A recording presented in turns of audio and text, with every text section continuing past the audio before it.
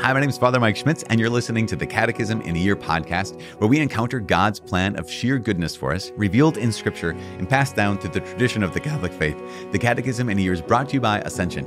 In 365 days, we'll read through the Catechism of the Catholic Church, discovering our identity in God's family as we journey together toward our heavenly home. This is day 230, and today we're introducing the third pillar of the Catechism, which is incredible. Gosh, you guys, day 230, amazing. But to help me introduce Pillar 3, I have a very special guest with me, Dr. Mary Healy. And so, just quick, we're going to get an introduction in a second, but a few reminders before we get started. Um, as always, you know this. I'm using the Ascension edition of the Catechism. Here's what it looks like if you want to know that. It includes the Foundations of Faith approach, but you can also follow along with any recent version of the Catechism of the Catholic Church. You can also download your own Catechism in a Year reading plan by visiting ascensionpress.com slash CIY.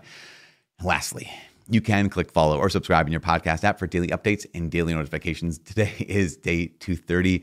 Dr. Healy, welcome. Thank you Thank so much for joining us today. Thank you. Great to be with you. Thank you. Oh my gosh. I, I, I when, when, when we were talking about, okay, who would be able to like adequately introduce the different pillars of the catechism. This one in particular, I was like, what about Dr. Mary Healy? And they were like, yes. And so I'm so glad. And when I got the message, I was like, me? Why? no, I, well, I, I see, because I've known of your work and I've known of your ministry and your work at, at Sacred Heart Seminary and some other books you've written. In fact, even I think at least one, if not two, of your commentaries on sacred scripture, I go to regularly. And so I'm so grateful mm-hmm. for everything you've done. But I know who you are. Would you mind introducing yourself to the people who are just joining us on this podcast who might not know? Sure. Well, um, I grew up in a ordinary Catholic family in Connecticut. Um, we were what you might call Sunday Catholics. We were Catholic at least for an hour a week. Yeah, absolutely. Not much else besides that. Until I was about 12, when my parents each went on a retreat and met Jesus. And they fell in love with Jesus. And I saw the radical change in their life. Yeah. That changed me and I became attracted to the Lord and to the faith, and um, began to pursue that through retreats and youth group and things. And and then, to make a long story short, it was really when I went to graduate school at Franciscan University of Steubenville that um, my faith really came alive. I, I, went through what's called a Life in the Spirit seminar. Yeah, absolutely. I, I got prayer to receive the Holy Spirit. Um, the Lord began to change my life radically. I, I, started to learn what it means to be a disciple of Jesus, yeah. to live that on a daily basis. And I also took a course on scripture. It was a mini course with Father Francis Martin on the Gospel of Mark. And boom, it just exploded scripture for me. I fell in love with scripture. I decided eventually that's what I wanted to do with my life in various ways, I had encountered the Lord. I had experienced the Lord on youth retreats and things. So I knew Jesus was real. I knew that if I wanted to be happy, I needed to be with Him. I needed to be His disciple. And I wasn't really living that when I was in college mm-hmm. at, at, Notre Dame. Um, so that's why I decided I, I have to go there because I see Jesus alive in, in the kids on that campus, and I, I need that. That's amazing. So you had the Lord, but you realized there's more still. Yeah. Like you're, I'm part of the yeah. church, and I, I understand in some ways the articles of the faith, but there's still something even, even exactly. more. And you know, it's interesting because one of the things that when we talk about morality, this third pillar of the catechism, this, you know, how we live, uh, sometimes I think some people can see it as, uh, it's the it's the okay now here's the guidelines or here's the the, the guardrails here is the mm-hmm. um I, for lack of a better it's mm-hmm. a, here's the straight jacket here's what you can't do exactly as opposed to no here's the power to actually live as a disciple mm-hmm. you mentioned mm-hmm. happiness like here's the yeah. power to actually choose God's will in such a way that actually leads to happiness rather than leads to I don't know suffocation or something right, like that. Right, right. You know, as as I reread this part of the Catechism to prepare for this, yeah. I was so struck by how beautiful it is. Oh my gosh, yeah. How joyful it is. How God's whole plan is for our unimaginable happiness mm-hmm. beyond anything we can think or ask. God wants us to be happy. And and this is all about happiness. Right. And it's so contrary to our normal way of thinking. We we think of the commandments as a straitjacket, right. like you said. But the commandments, even for the, the understanding of Israel before the New Testament, the commandments are a gift. They, they actually have a feast day still now called Simchat Torah, the, the joy of the law, the, wow. the rejoicing in the law. like the law of God, God, God telling us how we can be fully who we are as He created us to be, how, how we can be fulfilled. It's sweeter than honey. Yeah, well, even It- Lord, how I love your precious law. than gold. Yeah, Yeah, how. I love your law. So I kind of I, I got that again as I read this part of the catechism. This is such a gift from God. Well, as you said that, uh, you have some experience with it. What what would you say? You you reread this section as this isn't your first rodeo, Like, Right. You spent some time in the catechism Right. previously. What, um, yeah, what, what has Yeah. been your experience or involvement with well, the catechism? uh, the funny thing is, you know, when I studied theology for the first time at, at Steubenville, um, back when the dinosaurs were roaming the earth, you know, it seems like in the 80s, um, that was prior to the catechism. right. And it, it's it's hard to imagine now how unclear things seemed to people back then. People had so many questions, like what does the church actually teach Right, about yeah. contraception or about this or that, and nobody had a clear answer, and different priests would say different things. And then when this came out in 1992, and then in English in '94, it was like the dawn was breaking. Yeah. And all of a sudden there was clarity. And it was presented in such a, a beautifully systematic way. And people could go there and you could look in the index and you could say, oh, okay, this is what the church teaches. And even if so and so is saying something different, he's incorrect because this is what the church teaches. So it was really an experience of, of, of light. But I, I do remember at the time that there were a lot of theologians who complained that the catechism, for instance, didn't quote the latest theologians and Yeah. the latest theological theories, some of which were kind of dissenting from the church, that it only quoted saints. Like, why, why are you only including quotes from saints in Right. here? But of and course, church councils, and that's it. Yeah, as opposed to yeah, the most recent. Right. And and the saints are the ones who they're the best interpreters of mm-hmm. the teaching of the church because they're living it and they're showing how life-giving and joyful it is. So I, I experienced that and then um, and then I, I had the privilege of meeting Cardinal Schönborn, who was the um, as a young priest, he was the editor of the catechism. The whole thing. Of the whole thing. Yeah. He put the whole thing together. So um, when I was studying in Austria in in the nine, late '90s, um, he was the chancellor of the institute where I studied, and got to meet him. And he gave a talk on the Catechism, and he explained something that really struck me, has struck me ever since. He said the first two pillars, the creed and the sacraments, they're about what God has done for us. The, the creed is all about who God is and what it means that He sent His Son to die for us, and He sent the Holy Spirit. And then the sacraments, how God shares His own divine life with us, how He God, yeah. empowers us, how He fills us with the Holy Spirit. So it's all God's gift. The second two pillars are what we do in response. But it's structured that way for a reason. He said, God's gift is always first. He initiates. Uh, God initiates. Yeah. It's always his his sheer goodness, his his generosity poured out for us, and everything that we're called to do is in a thankful, loving response to that. It, it's not our effort. You know that that mm-hmm. idea that that is white knuckle Christianity. You know, it's all about me mm-hmm. striving to be holy, striving to be a good Catholic. No, that has nothing to do with what the Lord is actually revealing to us Which through is- Scripture and the Catechism. and that's so fascinating too because as we are talking about this here's you know how we how we live what we do uh, morality sometimes that's that's how that's our experience of it is that white knuckle christianity or our experience is, like okay i'm not sure especially for people who have been going with us for 229 days here's day 230 it's like okay up to this point I could just kind of not just receive, but I kind of just can receive. It give me some information. Mm-hmm. Mm-hmm. But we've been talking about this ever since the very first day of the catechism. It has been well, this this is information, but it's more about transformation. It's re- it's it's about data, but really about conversion. Mm. And so, as we launch into this third pillar, I would just ask, what are some of the the kind of the major themes, or what can mm. how can people mm-hmm. prepare for this next step into the third pillar? Mm. Well, I would say this is where it really gets down to brass tacks. In the first two pillars, you could you could agree. You could say, "I believe Yeah, that." Okay, I, I'm- I'm a Catholic. I've been taught all that. I agree. But here, it comes down to your daily choices. Like, do I really believe what I say I believe? Right. one of the tragedies of our time is that there are people who profess to be good Catholics, good Christians, who are acting in ways diametrically opposed to, to God's revelation and the teaching of the church, which confuses so many people. But the reality is, faith is faith lived. So, here in, in this pillar of the catechism, people are going to be confronted with challenging questions right. and, and God's demand, what God demands of us.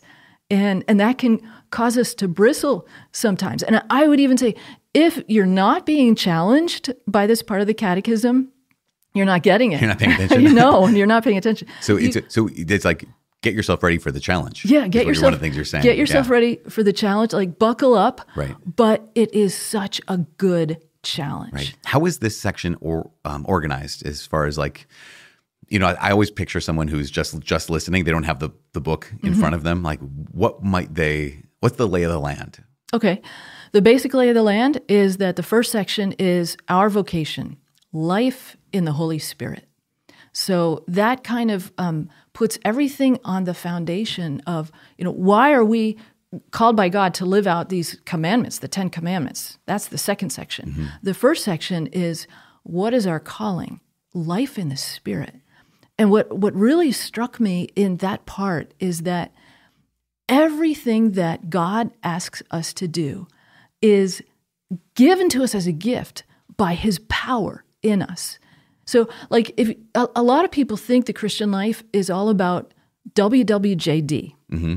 You know that yep. expression, right? What would, Jesus, what would do? Jesus do? Yeah. So, you know, how can we look back at our our dearly departed founder of our religion and see how he modeled the, the ways to be kind to people, love God, love your neighbor, all of that? Okay, all that's true. Mm-hmm. We, we want Jesus to be our model, but the Christ that's not the full Christian life. It's not what would Jesus do. It's what is Jesus doing in me yeah, now? Right now. Right and now. what is Jesus asking of me now? And what he asks, he empowers. Right. He never gives us a commandment that he doesn't empower us by the Holy Spirit to carry mm. out. And the more challenging it is for our flesh, and some of the commandments really they they they cut against our flesh. They yeah, they, I, they, hurt. I, I, you know, it's not what I want to do. it's not what exactly. I want to do. But when we give God our, our little yes, our, our, our weak little hesitating little yes, He comes through. Wow. I've seen it in my own life in so many ways. Jesus didn't come to give us more rules to follow.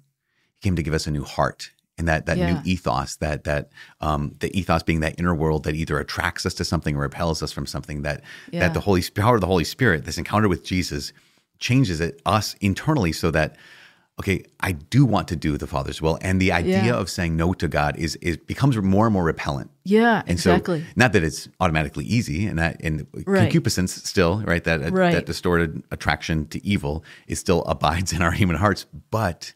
Here's this grace. We're not. We're not left orphans, and we're not left yeah. alone or powerless to be able new to. Heart. Yeah, yeah, a new heart. An analogy that I like to use is, um, if you think of a, a mother saying to her two-year-old, um, "Sammy, come here right now," and he he has concupiscence he has the flesh he has the you know disordered right. desire so what's his immediate response he runs in the other direction right that's human beings under the old law right we don't like the law it, it chafes against what we want we want our will right so we run in the other direction sometimes when god says do this or don't do this but then imagine the mom holds out a chocolate ice cream cone with colored sprinkles on the top and she says Sammy, come here.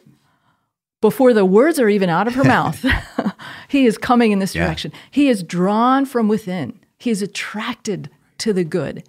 That's the new heart. That's mm. living under the new law. And like you said, it's it's not like it happens automatically or easily easily right away, but we do have this new desire from the deepest part of our being to love God and do what he wills that is a, a, power greater than ourselves, and it, it, becomes gradually a power greater than our earthly desires. And that sounds like something that, like I we I think we hopefully everyone who's gotten to day two thirty right now is something we, that's what we want. Like I I want that, but I know that as you mentioned, there are some prickly or there are some thorny issues, or just even, you know, we talked about this before, but like there are some. Uh, there could be some stumbling blocks that people could yeah. encounter. And so if you have any thoughts on what could some of those stumbling blocks, just kind of get them out there. We, we're, we're going to name them. Of course, we're going to Mm-hmm. Yeah. Mm-hmm. read the whole catechism, so it's not like we're going to skip over them.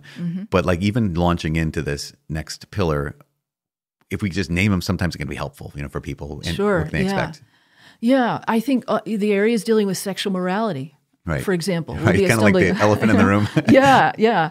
Because um, what God reveals, what what the gospel teaches, what Jesus teaches, is so contrary to Right. what the world is teaching right now. So that's a tough area Yeah. for people. Because Um, yeah, it's not only counter the flesh, like inside of, but it's also countercultural. Yeah, That we Mm-hmm. That we don't we don't live in a in a culture that when you what you read in the catechism or in the scripture Mm-hmm. is going to be uh, Applauded and Validated. Yeah, upheld, exactly. validated by Yeah. the culture. Yeah, no, quite the like that. contrary. What- he- yeah, and and also sometimes even um, not just disdained or not just dismissed, but hated. Yeah. And- and good that- is called evil, and yeah. evil is called good. Yeah. So um, when when we get to those parts of the catechism, I, I think one really good thing to do is um, take time to look Jesus in the eyes Hmm. in your prayer. Like the Samaritan woman, he had this incredible conversation with a, a Samaritan woman at a well in the Gospel of John, chapter four. And in the midst of the conversation, he basically rips open her heart. he says, he says, You've had five husbands, and now you're living with another guy who's not your husband. So she's got a history of brokenness, you know, a history of living outside of God's will. But she's looking into his eyes mm-hmm. and she sees no condemnation. Right. She sees fierce love. She sees a love from a man like she has never seen mm-hmm. before. And she knows that she's known and understood in the very depths of her being. And it changes her whole heart and it enables her to leave behind her old life. It Right. symbolized by she leaves behind her, her water jug and she runs into the town and tells everybody about Jesus. Right. She's a new woman. The, the shame on Come her face, the it's one gone. who's told me everything about myself. Yeah, yeah, and she can say that Right. like she doesn't care. Right, because in in the gaze of Jesus, there's no room for pride and there's no room for shame. That's right. And also to hear his voice, Mm-hmm. listen for his voice, because it's the voice of the good shepherd. It, it's the voice who calls you to greatness. Mm. It, it's the voice of a, a love he, who loves you exactly as you are, but too much to leave you there. Right. Who who is calling you to be fully who you were created to be, calling you to become who he has made you to be. And it's a voice of love, of gentleness, of, of patience with your weaknesses, but a voice continually calling you on. So we have we have to learn to be in silence sometimes and hear that voice. And it will change the way we approach God's commandments that we hear in this pillar of the catechism. That makes sense to hear the Lord's voice and to differentiate. I remember hearing, people describe this, uh, and it's borne out. You know, I've been uh, trying to communicate this too. Is when the Holy Spirit or when the Lord's voice speaks to us, um, there can be a conviction. Like, Yeah, and that yeah. conviction is here's where I've failed to live up to this. Here's why I've said no to the Lord. Here's and so I'm I'm guilty, but it's a it's a conviction that leads to hope, a conviction Yeah. that leads to humility, a conviction that leads to conversion, as opposed Mm-hmm. to the accuser who accuses us and I feel awful and I feel horrible. I can't believe I did that. I'm self condemnation. It's a conviction, or sorry, it's an accusation that leads to condemnation. Yeah, And, the- exactly. and you can you can they tell by the sound so of- different. Yeah, they feel so different. Right. I remember it took me a, a while. I mean, it's, I still don't discern between them all the time, but Mm-hmm. yeah, the voice of the accuser always makes you feel terrible. Right. Makes you feel Leaves you like a loser. Um, and leaves you there, just accusing you. You- You're such a jerk. How come you couldn't do any better? You know. But the voice of Jesus through the Holy Spirit, it may convict. It may pierce to the heart. Right, It, can you know, cuts. It, Yeah. it cuts between soul and spirit, between bone and marrow. You know, but it never brings condemnation. It it brings this freedom if you're willing to say, okay, Unless you, yeah, want, unless you want to run from it, in which yeah. case, if yeah. you want to run from it, yeah, then Other- Otherwise, you have that double conviction of I'm convicted in the area of sin, but I'm also convicted in the area of grace. Yeah, like I'm convicted exactly. by the, At the very same ugliness of sin, and I'm convicted by the power and beauty of His love in the midst of that. yeah. Yeah. it's it's Wow. paradoxical how it can happen in the very same moment. Are there any other things about uh, some major themes or some things, stumbling blocks, or just things to pay attention to before we kind of talk more specifics about the first section and second section of this third pillar? I think one thing to pay attention to is what it says about conscience. Okay. because um, there's tremendous misunderstanding of conscience Yes. today. Um, I think the theme today is to excuse- misunderstanding. yeah, So I think we so. don't get this. Yeah, um, it's used to kind of excuse and cover up for basically ignoring uh, parts of God's revelation. How would people do that, or what, what have you seen? Um, a, well, I've I've seen people claim their conscience. I was acting according to my conscience, but what the Catechism makes so clear is that we have a solemn obligation to form our conscience. And if we're acting according to a malformed conscience because we haven't taken the trouble to discover what God reveals, what, what the gospel teaches, what the church teaches, then we're, we can still be culpable Right. for, for doing something out of a malformed conscience. So, conscience does not mean simply, you know, I'll decide what I think is the best thing to do for me. conscience is the voice of God in the depths of our hearts. And, and we have to be able to listen to the voice of God clearly. And to do that, that's why we need this, right? Right, right. What you're saying, uh, it reminds me of something we've has come up a couple times in the Catechism so far. When those there's those challenging uh, areas where it's okay. This reveals the degree to which I have, um, the which the re- degree to which I'm docile, or that sense of openness to being taught. Yeah. So I can I can go through this. Mm-hmm, mm-hmm. Well, take it or leave it. Here's some. I'll take this one. I like that one. Oh, that's really good. But the other thing, I don't want to do this. As opposed to that sense of okay, Lord, guide me. I, Right. If this is your truth, not if. Since this is your truth, I need you to teach me. Right. And, I, and, and so that I think that is as a disposition moving forward is going to be critical, or else this is just going to be a really really painful next however many hundred days true. or whatever it is. That's true. Wow. Yeah, we have to be like children of a heavenly Yeah. Father who trust Him. He made us, after all. And he knows what's for our happiness. Um, so as we jump into this that first section on um, on how we and how we live this the the high call, the life in the spirit. Um, some of the things we're we're talking about is even just this integration of these first two pillars, the creed and the sacraments, and then now here's the moral life. And if you have any mm-hmm. thoughts on that, what is the key for that integration? I would say the key is the Holy Spirit, who Yes. the third person of the Trinity, given to us in baptism and in confirmation. And the whole of the Christian life is basically a life in partnership with the Holy Spirit, where the power comes from Him. I mean, it was such a revolution in my life when I experienced that. When I, I basically handed over my life to Jesus, I, I basically said, I'm yours from now on. I get out of the driver's seat. Um, I let you get in the driver's seat of my life. Fill me with your Holy Spirit. Um, and from that point on, it's more like I'm going along for the ride. Yeah. It's not that I, I don't struggle. I mean, I, I Right. still struggle just as much, but it's his power in me. It's not my power. It's it's the Holy Spirit in me, conforming me to Jesus by his power, which is unlimited.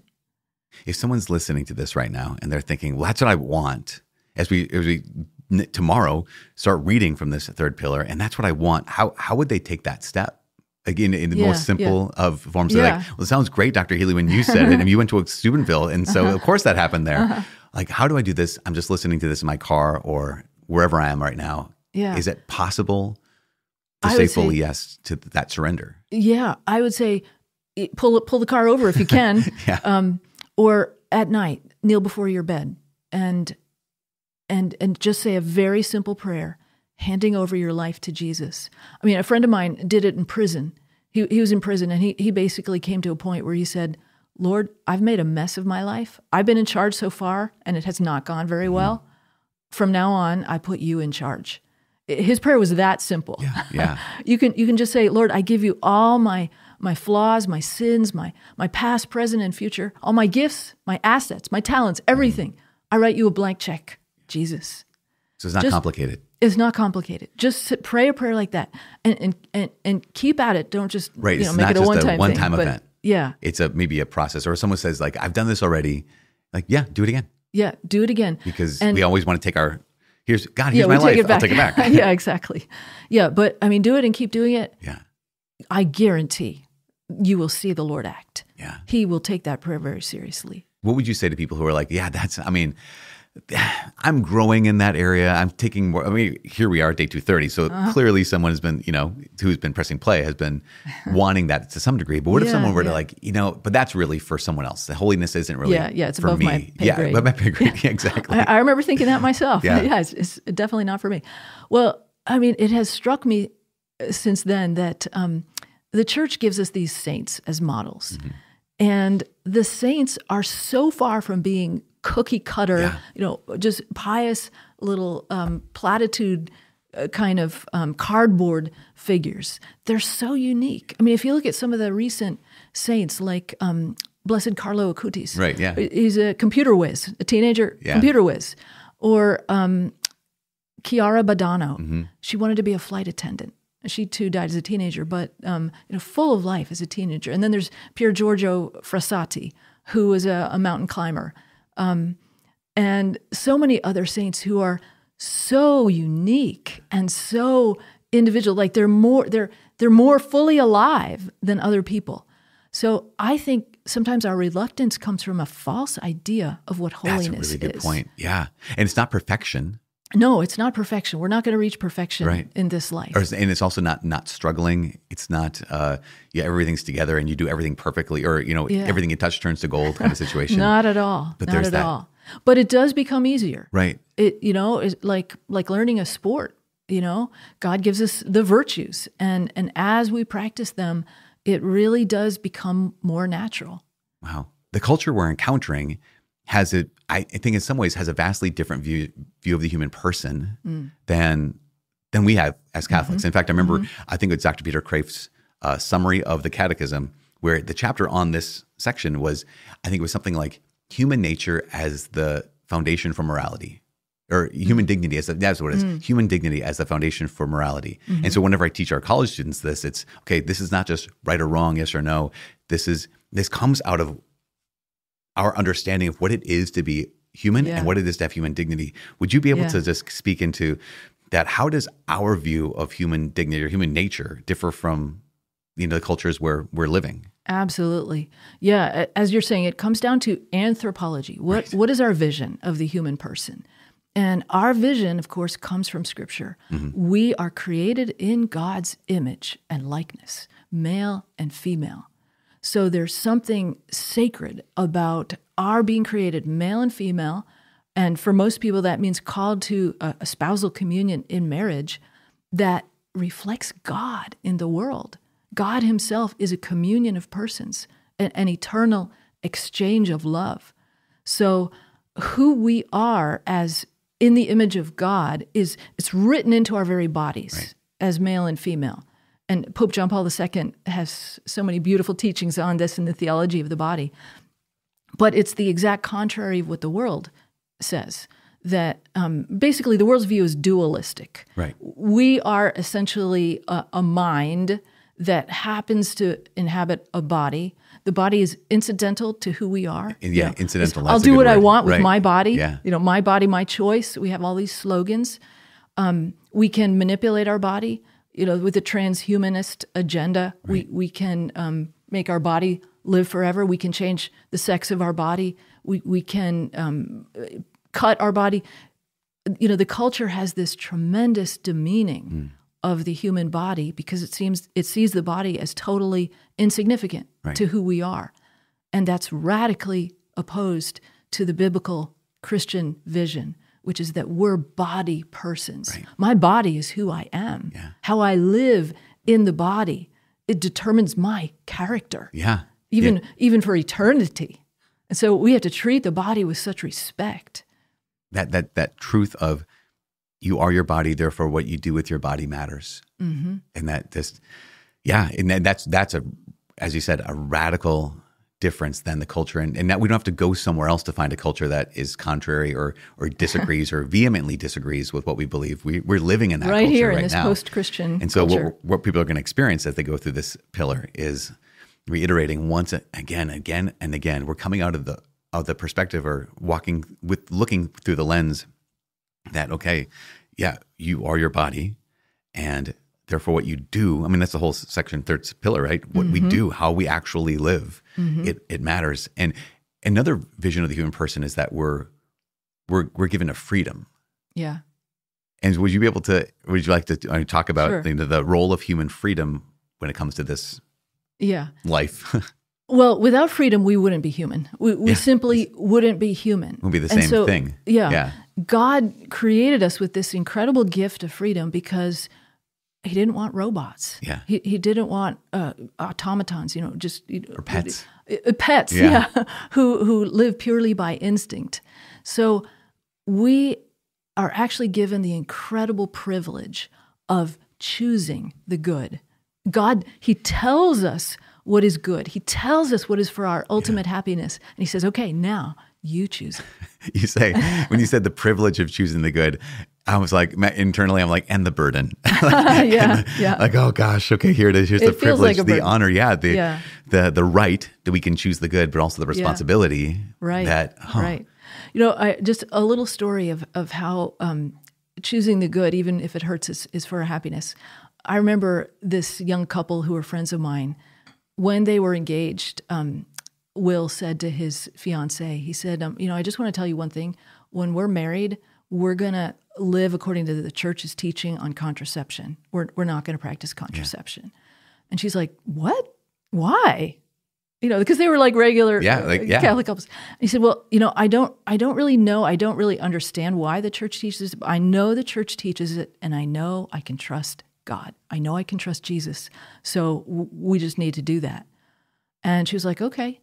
So um, fast forward about seven or eight years. They've been married several, seven or eight years. Um, several kids, practicing NFP according to the church's teaching, and they're lying in bed one night and they start saying to each other, "How come our friends are all struggling in their marriages?"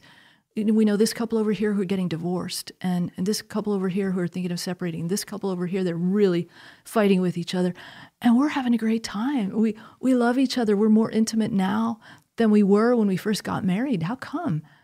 And then it suddenly dawned on them, maybe because we decided to do it God's way right? and they were they were so struck by that and they decided to study it they ended up studying theology of the body and, and learning even more the beauty of what god reveals about how we are to live but they, they experienced in a very concrete way of, the, of the fruit it even if they didn't know exactly why. There, there was a there was a natural or supernatural fruit of of just like yeah, this is the joy of doing. No, I, I know other people could say yeah, I've been trying to do God's God's will, um, but they've been white knuckling this or Mm-hmm. not experiencing necessarily the joy, and they hopefully as we go through the catechism, they'll hear the why. Yeah. As, as well, so maybe that'll it's complementary in some ways because yes, Yeah, that's right. the the this is ultimately oriented towards our um, ultimate happiness Mm-hmm. But there is an element of the immediate happiness as well. I mean, it's Mm-hmm. not always right because it's not pleasure, but we're talking about the good Mm-hmm. in that sense of how do you create a a great marriage? How do you create a great family? Well, I've started the basics. How about we, like you said, do it God's way? That might be Uh-huh. the the ba- not that doesn't automatically happen because it's just like if we follow NFP, we're automatically going to have an amazing marriage. Well, it's NFP and the, the first commandment and Yeah, the second yeah. commandment and the eighth commandment. You know, Yeah, so it's not just observing six and nine, but also observing, you know, the other the other eight, which is so important. Wow. Basically, I, I would th- think of it as three elements are absolutely crucial for living out this sometimes Okay. very challenging teaching. One, the mercy of God the Father, who just continually invites us, like the father of the prodigal son, just come into my embrace, mm. even if you blew it. Just come to the sacrament of reconciliation. You will find forgiveness. You'll find mercy. You'll find inexhaustible love. So that's one. Secondly, the truth of Jesus, the truth that he revealed, the truth of the human person, even his difficult demands, like don't even look at another person lustfully, don't even harbor an angry thought at another person. So, so the very, very high moral demands of Jesus. We, we need that too. We can't soft pedal them, we can't dilute them. But then, third, the power of the Holy Spirit. Like if if we are really struggling to live out some of the the Lord's moral teachings, which uh, you know we all do, Oh, right? Yeah, every one of us. We need more of the power of the Holy Spirit. So we need to ask for it. Sometimes we need to receive prayer from other people. We we need to be honest with what we're struggling with and say, Lord, I, I you know I'm doing the white knuckle thing, Right. and I I really need more of your power in this area right now. The mercy of God the Father. the truth of Jesus, the Son of God, and the power of the Holy Spirit. Yeah. Yeah, as we move forward, um, that's that's awesome. The uh, there's a, a note that we wrote down um, that is oriented in this way that God loves us unconditionally. You even mentioned this before, and still calls us to conversion. Right. Like you mentioned, He loves Yeah. us as we are. Yeah. doesn't hold back any of His love, but loves us too much To leave us there. to leave us there. Yeah, I, you could look at it this way: um, we're thirsty. We have desires that we want to be fulfilled. We have sexual desires. We have desires for uh, esteem and, and approval, for identity. We have all these desires for greatness, Mm-hmm. for fame, for a name. God actually put these desires in us. Right. They're actually fundamentally good. They're actually from God, but they've gotten twisted and distorted. And it's sort of like we see some salt water and we're super thirsty. I'm going to drink that salt water. God says, don't drink that salt water. We say, no, I'm really thirsty and that water looks good. I'm going to drink it. Don't drink that salt water. No, but if you only knew how thirsty I was, like, I know Yeah, how thirsty yeah, you are. yeah. Yeah. So it, eh, we got to trust our Heavenly Father to say, okay, He says, don't drink the salt water. It's going to kill you. Right. Okay, I'm not going to drink it. He says, let me give you a fountain of fresh water, bubbling, clear, overflowing water of life. That's why I told you to stay away from the salt water. Right. Yeah, but the, for those those of us who are so used to uh, drinking from the the salt water, it's Or the like swamp water. the swamp water. Yeah, exactly. It's like that sense of, uh, are you sure though? Are, but but what do I have to do? You know, Mm-hmm. all those kind of pieces. But the salt water's right here. The swamp water's right here. Because the the sometimes the immediate benefit is is lost on us. Yeah, and so there's yeah. that challenge of just okay. Yeah. But you said trust. Mm-hmm. Like, will you trust me? And that's why I just love how you highlighted at the very very beginning of this conversation how faith is not just I assent or I agree with Mm-hmm. these uh, the creed or with the sacraments, Mm-hmm. but it has to be lived out.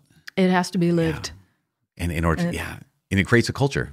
Yes. Um, so the next thing before we move on to the next second section of the third pillar is um, speaking of like culture, there there's justice, um, there's social justice, and the Catechism talks about this. But if you wouldn't mind commenting, how is the Catholic Church's view of social justice and human solidarity different than maybe what we hear generally speaking in the culture when they talk about social justice? Is it, is there a Mm. Difference, or is it kind of the Oh, same yeah. thing, or is it Absolutely. okay? Big difference. Um, well, the church's understanding of social justice is always founded on the dignity of the human person, Person. and that's why you, you have that se- section, that subsection first Right. in this part of the catechism on the dignity of the human person, and then comes community. So the world is always tempted to um, undervalue the dignity of the person, and in certain forms of social justice, it becomes the collective over the individual. Okay, Like in Nazism, right. Or in communism. And so individual rights are trampled on to the point of even torture and murder of Right. uh, huge populations of people. But then on the other hand, the world's view of social justice can sometimes exalt the individual over the community. like in the case of like say like abortion Yeah. that be- would that be an yeah, example? exactly. Like that exactly. I'll do whatever I want. right, There's the no limit. right There's of- no restraint on my freedom. Or say, you know, drag queen events that children are invited to. You know, who, Yeah. who's going to tell me what to do or what not to do? So, um, completely devaluing the the common good right that the so Lord has called us to. Right. of, of of overriding or if that's the right word or trampling upon the or ignoring the individual dignity Mm-hmm. of the individual person is in favor of the collective essentially Mm-hmm. and at the same time on, in other areas exalting to such a degree that you know i need to be me Yeah. you know yeah.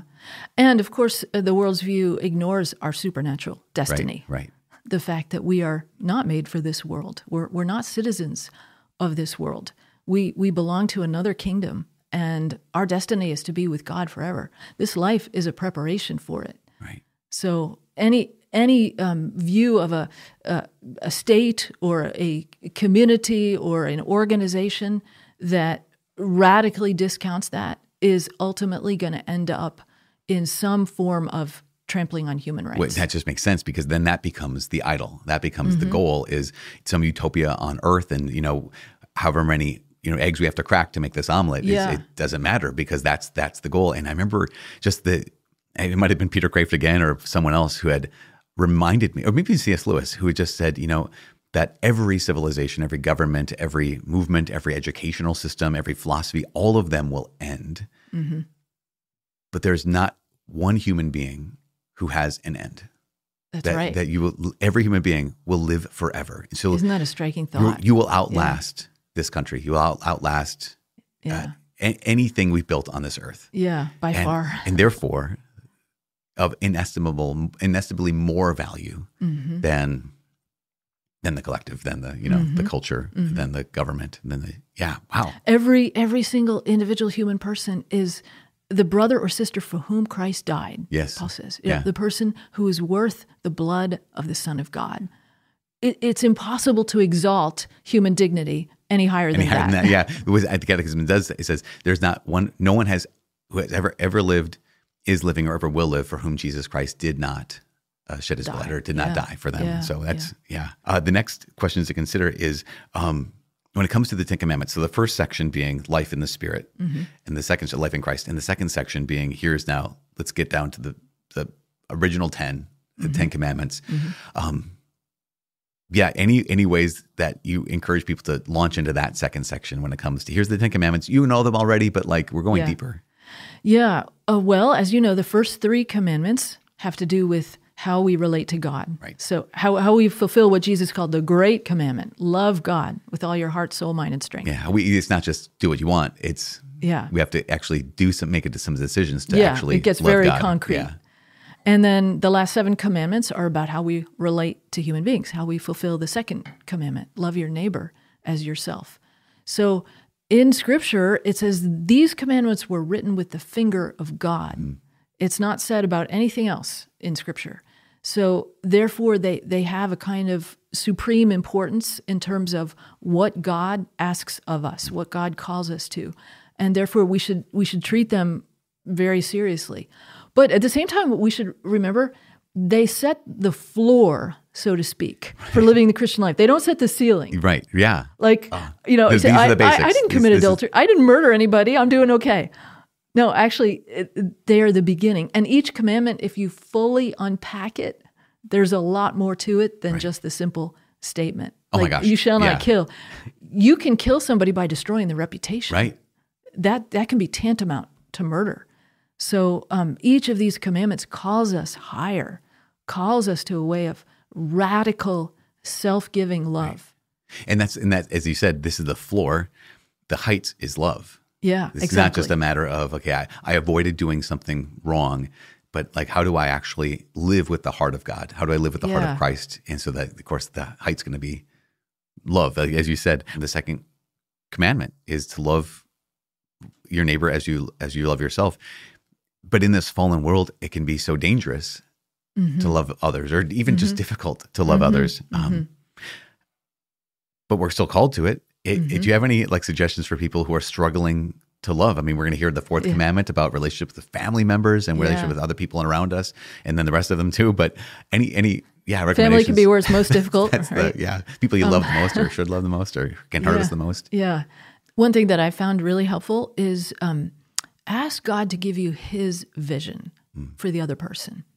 You know, we have our vision that that, that person doesn't like me, or that that person is annoying, or that person is so arrogant, whatever it might be. Ask God for His vision, and oh, you know, over time, keep asking. You may be surprised and amazed at what you begin to see Yeah, oh, she's really wounded. That's why she acts that way. Mm-hmm.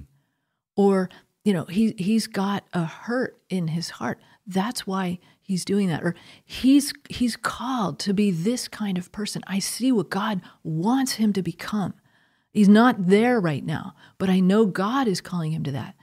And once you start to get God's vision for the other person, it makes it so much easier to love them.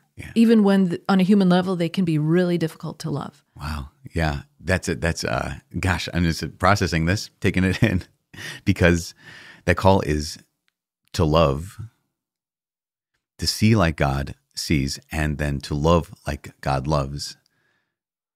As we're saying that term love, what is what is it to love? I mean, ultimately. Yeah.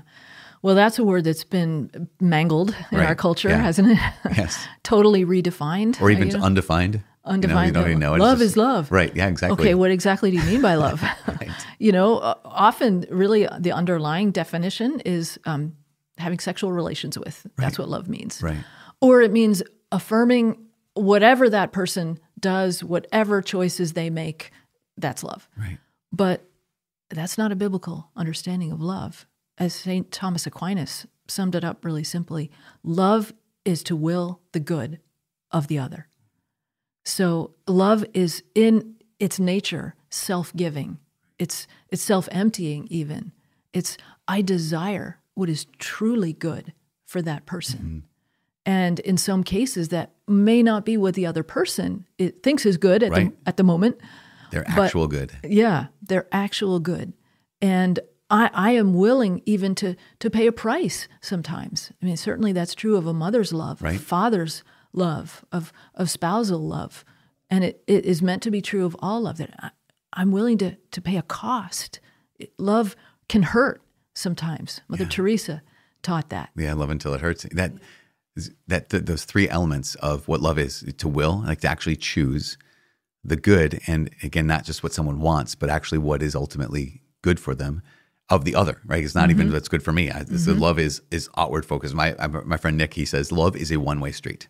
Um, he says relationships are two way streets, but love is mm. this one way street because I, mm-hmm. if I love the, I'm willing the good of the other. That's what I do, regardless, irrespective of what they do. That's true. it's just- Although it's of course meant to be Yeah, of course, yeah. reciprocated, in God's in plan. that relationship. Yeah, but yeah, but we can only I can make the decision of what I do. That's right. As even if the other person yeah. is not loving me, Yeah. I can choose to love them. And that's even more godlike because that's what he does. Yeah, and so and again, the movie keeps saying that how these commandments and the, even the commandment to love is meant is oriented towards freedom, even though it can feel restrictive. Mm-hmm. Um, how? What's one way as we move forward in this we can change our our our vision of God's commandments from okay, this is these are the limits to okay, this is the power, this is the movement. Yeah, I don't know Hmm. how we change that that way we're approaching as we kind of wrap this up soon. Well, um, the Lord one time gave me the analogy of surfing. It was actually in relation to the charisms, but it, it also applies to the moral life. And I had never surfed in my life, but I had this prayer time where Uh, the Lord was really speaking to me about surfing. Now, you have to practice a lot to actually even get up on the board, Right. to be able to stand up on the board. And you have to be willing to fall, but get up and, and keep doing it again. And then once you actually start to surf, you are being carried by this wave that is more powerful than you. Yeah. You're not in control. The wave is in control and it's pushing you, and the wind is pushing you. However, you're not passive. You are using all your energy to focus, to balance, to, to catch the wave at exactly the right moment, to, to go with the wave. And, and when you finally get into it, it's uh, what some of them call the green cathedral. When you're actually, the, the wave is over you Yeah. and you are just going with the wave and it's this sheer joy that's what the moral life is meant to be Meant to be. Yeah. the holy Yeah. spirit is the wave he's the wind that's moving you you you could say the um the surfboard is the commandments that are upholding you. You you have to you have to keep getting up on that board. But the Holy Spirit wants to be the power that's moving you. And as you you keep on seeking to move with him, you you get you get into the flow and it becomes this life of joy because you're experiencing the Holy Spirit carry you along. You're experiencing what God intended for us as his children. it seems like if you extend the analogy, um, the way a lot of us do it is like trying to paddle out into the surf. yeah. It's, it's right. just you're just going working. You're working against the groove and saying, "Ah, "I'm surfing." Like, no, you're not surfing. You're paddling out. That's right. Catch a wave. But Yeah, no, this is yeah. what the Christian life is, right? Like, well, yeah, exactly. I like that extension of the analogy. So many people think that the moral life is the paddling, right? and, and the paddling can be very wearying. But it is like the Christian life. Again, it's that like you said, Mm-hmm. you have to. You're you're holding on to the to the surfboard, the Ten Commandments. You're you are or the commandments, the commandments of the Lord, what He's asked us to do. You're riding that wave. You also mentioned part of it is you're going to try and you're going to fall. Mm-hmm. Uh, how do what would you say to people who are like, yeah, yeah, this is great. It's really nice that you're talking about this, but I just get so discouraged. i have been trying, but I've been falling, or I've been trying, mm-hmm. but it feels like I'm just paddling out into the into the surf and nothing's happening. That mm-hmm. discouragement, I guess. What would you say about yeah. that piece? Yeah, welcome to the club. yeah, exactly. I know. It's like right here, we have some cameras and there's lights and all these kind of things, and it's really easy to talk about the moral life. Like, mm-hmm. good, because I'm not being mm-hmm. tempted to do anything wrong right now. Mm. But then you step off the cameras, and it's like, yeah, okay, exactly. well now all of a sudden, the moment somebody cuts you off in traffic, right, right, and any of those says a nasty comment, opportunities, yeah, all of yeah. a sudden the flesh. exactly. Yes. Well, I mean, I have certainly experienced that quite a bit in my life, that sense of discouragement. And I would say that the simple answer is look into the eyes of Jesus mm. again and stand up again. Let him take your hand. And he says, Don't be discouraged. You know what? This is not news to me. Right. You yeah. failed. It, it's actually it's it's actually not news to me, only to you. And it's actually good for your pride that you you see that you cannot do this. Ultimately, the moral life is God calling us to the impossible. Right. But what is impossible for men is possible for God. So when we fall, we have to look into his eyes again and realize this is the Savior who loves to save. Mm-hmm. The this Savior is, who loves to save. That that yes. That, sorry, I don't mean to interrupt you, but we have to underline that one. Mm-hmm. The Savior who loves to save. Yeah. Yeah. Not the Savior who who says who looks at us and says, "Look, get your act together, shape up, and then I will come and bless you." Yeah. No, he's the Savior who says, "I love caring for my wounded sheep, my lost sheep, bringing them home on my shoulders." It's why I came. Mm-hmm. It's why I died for you.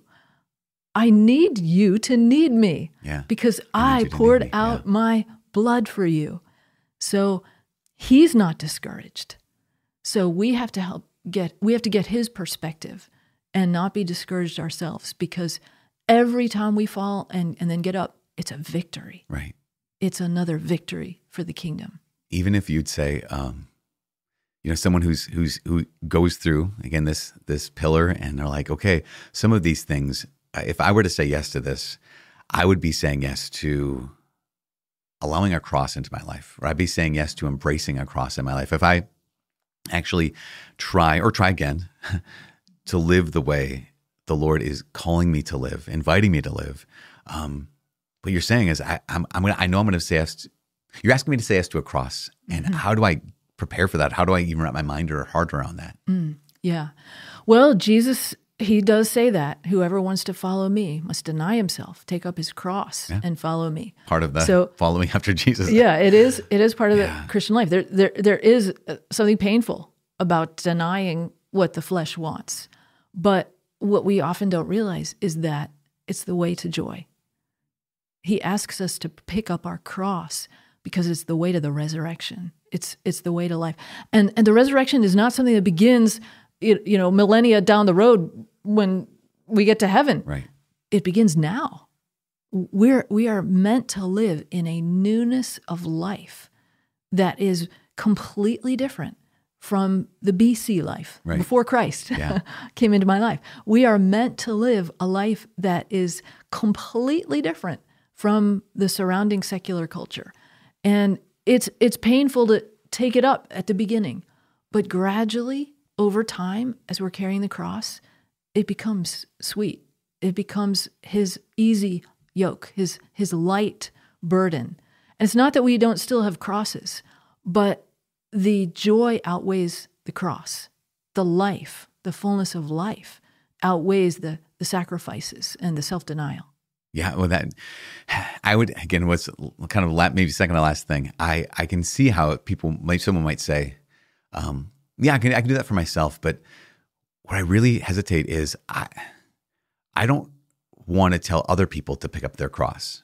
Like I, I, maybe I could do this for me, but I've got these kids and I don't want to tell them that this is what they have to do too. Or I've got these mm-hmm. friends and I don't want to get in their lives. And mm-hmm. and what would you say to someone either if that's their struggle, mm-hmm. or if they just know that I'm going to be struggling with some of these teachings? Um, yeah. Any any thoughts? Sure. Even if it's not for themselves. I mean, it's like I struggle with these teachings for my friend. Yeah. Right. Well, um, I would say we have to remember again the place of this pillar on the moral life, that living a Christian life, is the third place. Right. So don't start out by telling somebody what they're doing wrong Yeah. or how they need to get their act together. Right. We need to bring people into an encounter with Jesus first. Hmm. They need to know him first. They they need to recognize his individual personal love for them. Then there is the call to repent, as Jesus himself preached repent and believe the good news. But it has to begin with that relationship with him. Now, that being said, we also have to recognize we do nobody any favors by soft pedaling and diluting and downplaying what God reveals about how we are to live. And the the area of sexual morality is probably the area where people are most tempted to do that, to kind of put it aside or be embarrassed about it or not want to talk about it because it's so contrary to the culture. But we actually are doing people no favors at all if we are are just you know, kind of blessing the the darkness Right. that they are living in or the bondage that they are living in. It is our calling and our our privilege to proclaim the full truth, the undiluted truth of the good news. And the, part of the good news is kind of the the bad news Right. about Yeah. you're separated from God by your sins. That's part of the gospel. Your sins have separated you from God. And, and if you don't repent, they'll separate you from God forever. Ever. But you're invited to communion with God. You're invited back into friendship with Him. And it's so simple just repent and believe. That's, He doesn't basically the heart us. of it. Yeah. Yeah, and you- yeah, like you said, you don't do anyone any favors. You don't do the person by by telling them there's a by not telling them there's a train coming while they're playing on the tracks. You're not helping Yeah. someone. Like, well, they look like they're having fun right now. I don't want to impose my morality on them. Like, well, there's a train coming. Yeah. And and we've been talking for a while, which is such a mm-hmm. huge blessing. Kind of any last thoughts you might have to say, okay, here tomorrow on day 231, they're going to press play and we're going to dive into this third pillar, this invitation to respond to everything we've heard for 229 days. Tomorrow on day 231, um, any last thoughts of just kind of as people press play tomorrow and start on this mm. part of the adventure? Mm. Yeah, I would say go all in hmm. for Jesus. Don't hold back. Keep going. This is probably going to be the hardest part of the catechism Yeah. for people because it gets down to concrete reality of our daily choices. Keep going. Don't be a half baked Christian. Hmm. Don't be one of those people with one foot in the world and one foot in the kingdom. Be all in because it is a complete adventure. It is the best decision you could ever make to decide you are all in for Jesus and his kingdom.